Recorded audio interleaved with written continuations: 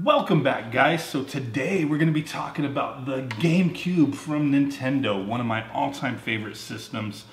One of the last systems that I have, you know, quite a bit of nostalgia for. Reason being, last system I remember sitting down and, you know, playing with friends, you know, locally. You know, everything's online now, but this is the last system that I have those fond memories of just kicking back, chilling with people, with friends, family, whatever, and just having a damn good time. Um, and if you're like me, I'm always looking for the best solution to getting the, the, the, the best picture quality out of these old school systems. So I do like trying to find ways to be able to play my systems on HD TVs because that's pretty much all I got. You know, I dabble in CRT a little bit, but not a lot. I do like being able to record, being able to play on my TVs, all that kind of stuff. And well, there are some solutions for the GameCube to be able to get the best possible output. Now, one of them, which is what we're talking about today, is going to be the GC HD from Eon. So what is this? Essentially, this is an external adapter that is modless, just, you know, plug and play. That's it. No input lag, you can plug the, your, your HDMI in through this to your TV and you unlock progressive scan mode. So you can get 640 by 480p. Not every game supports that, but a lot of them do. And this is the best way, in my opinion, to get that because previously this mode, being able to output the GameCube the best possible way you could, was locked behind a very pricey component cable from Nintendo. So if you recall years ago, Nintendo did put out a component cable for the GameCube. You can only get it through them. And at that time it was like 30, 35 bucks. These were not sold in stores. You had to go direct. Now, yeah, uh, you know, a good number of people got them. They're out there. But they've also increased in price drastically. I think it, you know, it's it's because a lot of people do love the GameCube and they want to be able to to have the best picture quality possible. But those damn cables, man, as of today, March 10th when I'm recording this, happy Mario Day by the way. The lowest price I saw for a component cable was just slightly under 300 bucks. Um, and, and that was an auction. That wasn't a buy it now. So I'm just like, dang but I was seeing between 300 to like $600. I think the ones that were like 600, they were actually over 600. They were brand new sealed. Um, so they're out there and they are very pricey. And I'm not saying that this little device here is not expensive because it is. This retails for $150. Um, and today I can actually save you a little bit of money off of this. So if you stay tuned and you're really interested in this, I'll get you set up on saving some money on this bad boy. But yeah, the component cable, that was your best option if you want to use an original GameCube to get, you know, progressive scan, to get that 640 by 480p. Now we did have other options. Besides this thing, you can get this same, you know, device essentially internally modded. Um, this is based off of open source software and publicly available components. But at the same time, this is not for those people who can do internal mods themselves. And even then, to find a GameCube already internally modded is pretty hard to find right now. And if you can find one, they are going to be going for quite a bit of money. So this, I think there's some benefits to it. I do have an internally modded GameCube here, and it's pretty cool. But if anything ever happened to this little fella, what am I going to do? You know, I'm not that great with soldering and all that. Am I going to, you know, desolder everything or pay somebody to remove the mod um, if I can't fix the GameCube to be able to put it in another system? I don't know. That's what I like about this. It's transferable, plug and play. You can use this on any compatible GameCube. So the one thing to note with this is that your GameCube, the one that we are going to be using on today, is this little fella here. You do need to make sure you have the digital AV out. So regardless of what you hear, these systems are not rare. You can find these all day. The model number for this particular system that this adapter is compatible with is going to be DOL-001. So if you look that up on you know eBay, if you don't already have a system with that, you'll easily find them. I got this one, the silver one, I think around 40 bucks. You know, it was complete with power and a decent controller and all that. But I also did find another one, um, the same color as this system, but a little worse condition uh, with no cables or anything, and it works perfectly fine. Bought it for about 15 bucks. So they're out there, they're not rare. They were the first versions. Nintendo removed that digital port, you know, in later revisions, so you do have to, you know, kind of pay attention to that. Now, besides these options that I just spoke about, we do have one other one. A lot of people will be like, well, why don't you just play on the Wii? Well, yes, you can take a first version Wii that has the GameCube ports, memory card slot, all that good stuff. Get the little uh, Wii to HDMI um, little adapter thing and be on your way. That is fine and great.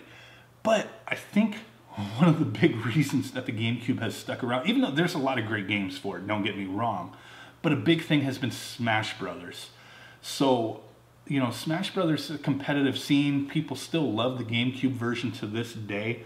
Now, if you play GameCube on the Wii using that little adapter, what that little adapter is doing is taking an analog signal and converting it to digital. You're getting some lag, you're getting some input lag, and there is color distortion. There's some issues with color and, and whatnot. The picture quality is not going to be as crisp and nice and the proper colors that you will get out of an original GameCube using a mod like this or even not even using a mod or an adapter like this. It's just not the same. So a lot of people do prefer original hardware as far as the GameCube to play their games. So yes, you can play on the Wii and the Wii is very cheap to find them. And the little adapter is hella cheap, not gonna lie.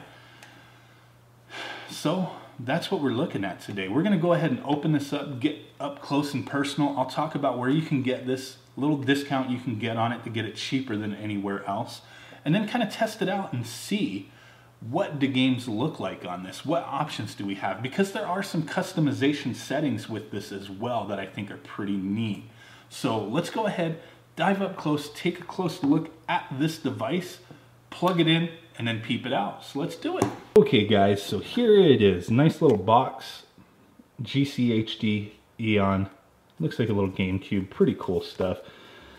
Goes over some stuff on the back, just pretty much telling you, play any GameCube game on any HD TV. Eliminates, you know, virtually eliminates all input lag, compatible with any HDMI enabled dis display outputs the highest possible native resolution, no additional modding required. Plug and play, easy. And it just tells you, you just plug the bad boy in and you're ready to go. So let's open her up and see what she looks like. So this is the little device here. And there have been other ones available. Um, like I said, it's all open source, uh, you know, software and parts that you can find out there. The diagrams, you know, are easily found if you want to make one yourself um, you're going to spend time and money doing so. So what Eon has done here is, you know, professionally put one together for us. Mold injected, you know, shell. This is not 3D printed or anything. Does have a little button for a universal remote to sync up, you know, universal remote. So I am, you know, I do have this specific remote synced to this to access my settings. But the one thing I do want to say is, is if you don't want to sync up a universal remote to this, you don't have to. It's plug and play. It's just going to work right out the box. What you can get out of doing that is, you know, scan lines, line doubler. There's a few little options. We'll take a look at that in a moment.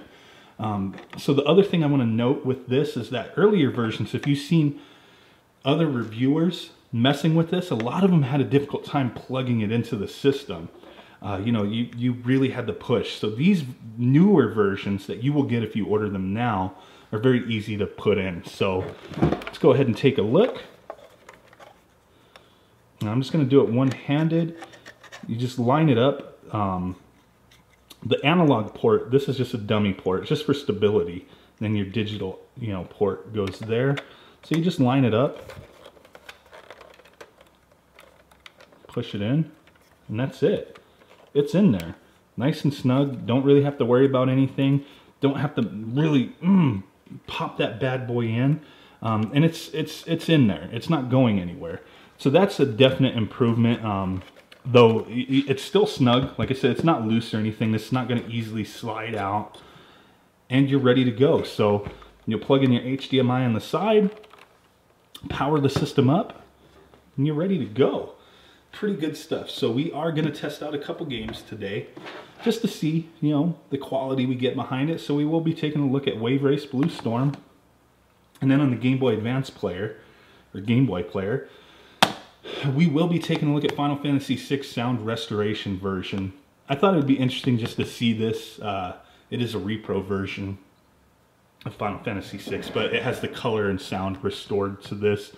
The original version is kind of messed up, so it'd be kind of cool to see what this looks like on the GCHD through the GameCube. So let's go ahead and plug this bad boy in and get this party started.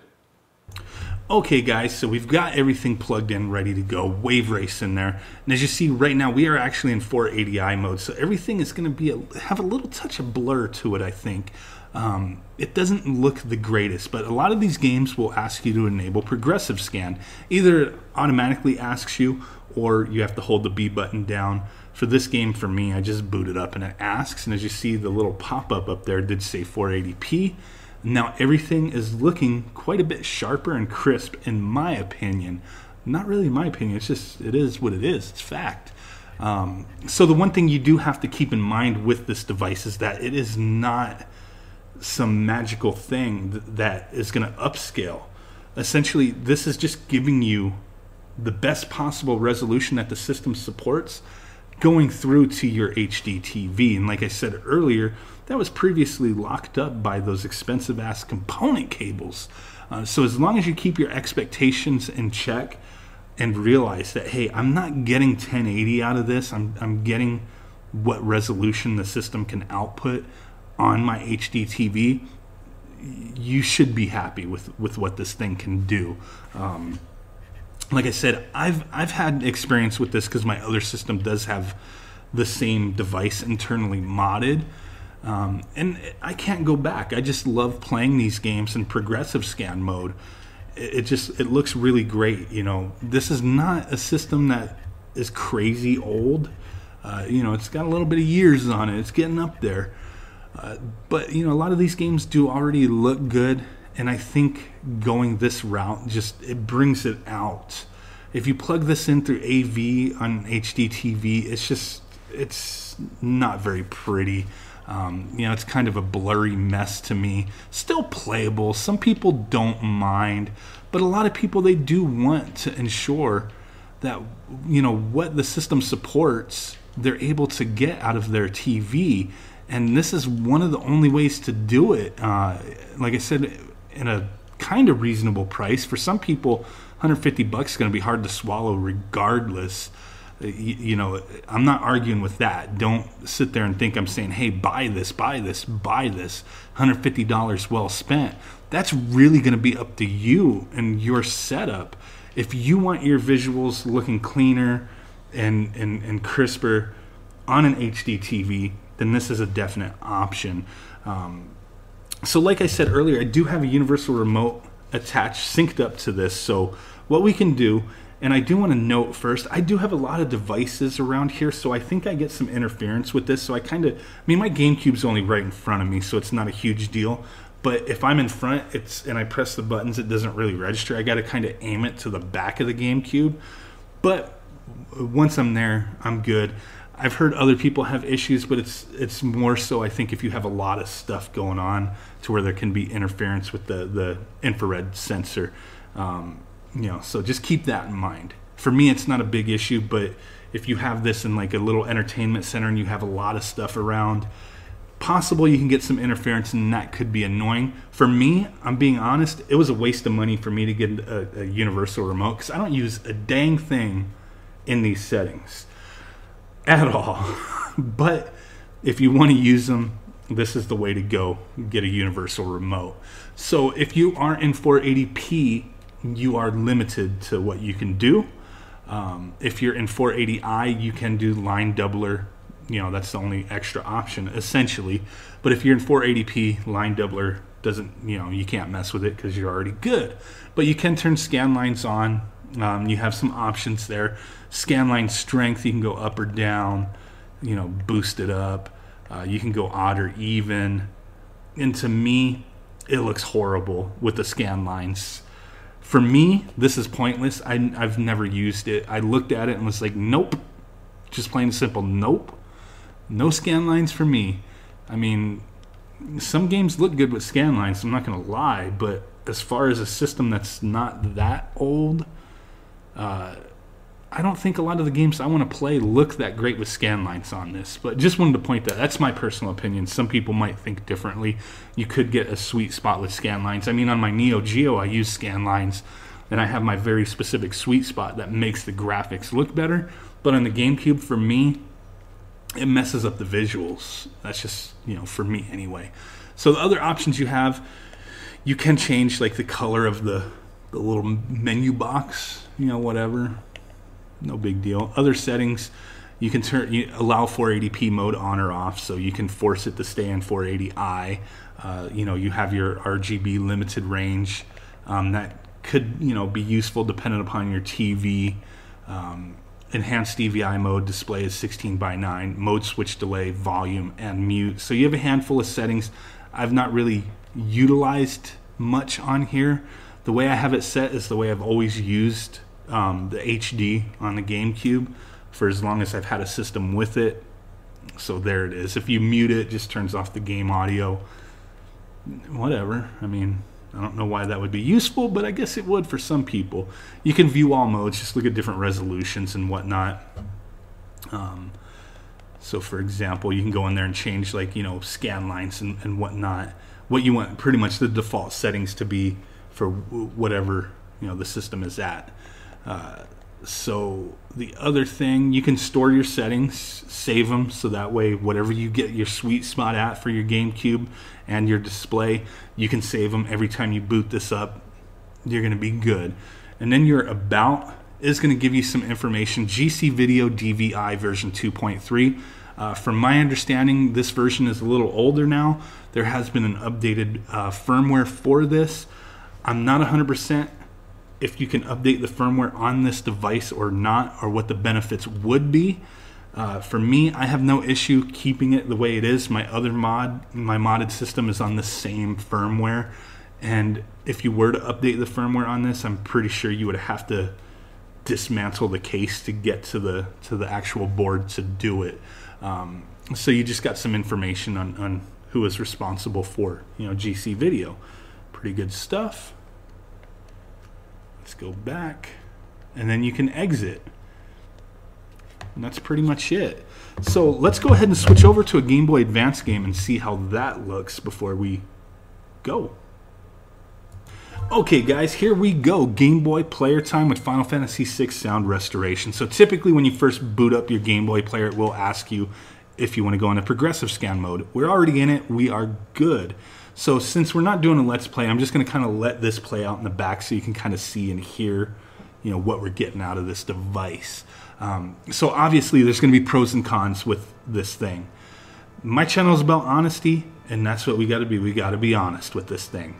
Pros, we'll talk about pros first. And really, to me, the biggest pro is that you're getting these resolutions that normally you would have to spend an outrageous amount of money to get those component cables. That's the biggest pro is that this gives you that and it's easily accessible. Plug and play, you can use this on your HD TV. Awesome stuff. Pretty much that's what this device is about and that's what the biggest pro is is what the device is about, right? No issues as far as build quality, anything like that. I think the device looks pretty nice. You don't really see it anyway, um, even if you don't like the aesthetic of it. It's it's in the back. Um, that could also be a con to some people, like, hey, this thing's kind of, you know, taking up space in the back, but it does not extend past the handlebar. So I don't think that's a huge issue. And like I said, you don't really see it. So whatever. Now, on to cons, and there are a couple in my eyes. Price is going to be the biggest one 150 bucks. That's a lot of money. Not everybody could afford that. Not everybody can justify spending that kind of money we have other options out there like we spoke about earlier. If $150 is not a big deal for you to get the best possible visuals out of your GameCube, then this is an excellent device. If you want to keep it budget friendly, definitely going the route of the Wii and getting a little HDMI adapter, playing your GameCube through that if you have a Wii with the GameCube ports on it. That's great. There's pros and cons to that as well, like we kind of mentioned earlier. Some people don't really care, but that's great. To me, the biggest con going that route is is the Game Boy Advance stuff. For me, the biggest thing is playing Game Boy Advance games. That's why I love the GameCube because I can play my Game Boy, Game Boy Advance games on it. That that's a big selling point for me. Some people might not care, so then the Wii is going to be a very viable option because it's very cheap. You can get a Wii with a GameCube ports on it for very cheap. The little adapter is cheap as heck, so why not? I mean, the pros outweigh the cons going that way. Some people prefer using the GameCube, the GameCube only, and that's what this device is geared towards people who want to get the best out of their GameCube. But that $150 is very expensive. Comparing it to the component cables, it's half of the price of the cheapest ones you could find. I don't see those component cables going down in price because they're just getting rarer and rarer and rarer. So it is what it is. Um, the, there's the one other con that I do want to point out, and it might not even be a big deal. It's not even a, that much of a con for me because my GameCube, when I'm playing it, is typically right in front of me. But when you sync up a universal remote, it could be just my setup because I have so much around that I get interference, but I'll just show you. So I have it mapped to the OK button to open up the menu. So I'm two feet away from the GameCube, not even lying, two feet away. Pressing it, nothing. Moving in closer and closer and closer, nothing, nothing, nothing, nothing.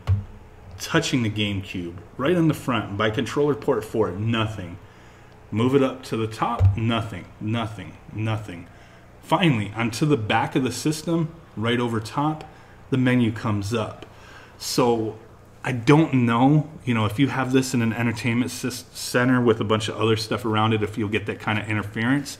But I do want to point that out because that is a con that you could possibly come across. For me, it's not an issue. And the reason why it's not an issue is because I don't access this menu, I don't use anything in this menu so it's not a big deal. If you have the internal modded version of this, um, like I do, my system, I have it wired to that the controller um, to to use the controller to access this menu. Um, but that's a very specific additional part of the mod that has to be done. Um, and it, it's pretty easy, but even me using that for months, I don't access this menu at all. Um, but it's there. Some people might want to mess around with it and get certain things tweaked and that could be a pain in the ass trying to get this to to register. If you're in your living room and you're sitting back and you're like, I mean, imagine you're trying to change your t- channel on your TV and it won't change because there's something else over there causing interference. So I think that's fair to point out that that could be an issue. It is an issue for me. I don't think it's this specific remote um, because I've tried a couple others and it's the same thing, but like I said, for me, it's not a deal breaker in that I don't use this. I don't I don't I don't use these menus because the main reason you'd want to access it is for scan lines, and I don't like scan lines on the GameCube. But needed to be pointed out. So, like I said earlier, you know, we'll just we're gonna finish it here. I think I've shown enough, talked a lot about this.